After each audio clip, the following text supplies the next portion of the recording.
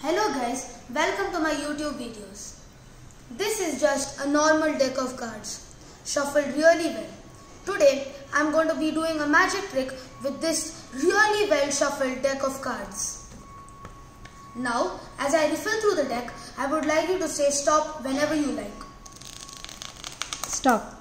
Right over here, Yes. this card is yours. So there's no way I can get to know that it's your card. Now I may be making three decks of these cards.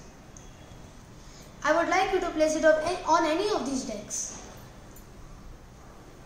On this.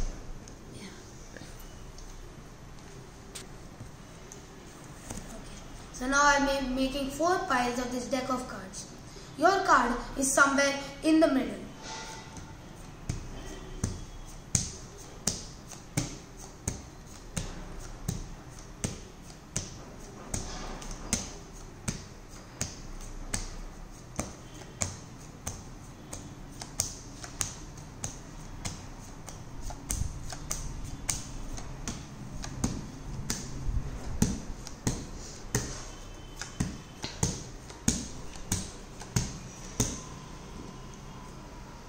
Now I am replacing these cards one on top of each other.